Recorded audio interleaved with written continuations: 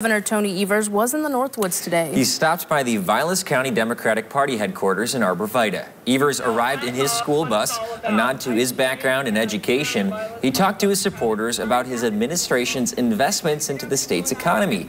That includes about a billion dollars to small businesses, farmers, and the tourism industry. And the payback on that has been this. We have the lowest level of unemployment we've ever had in our state's history, the most number of people ever working in the state of Wisconsin.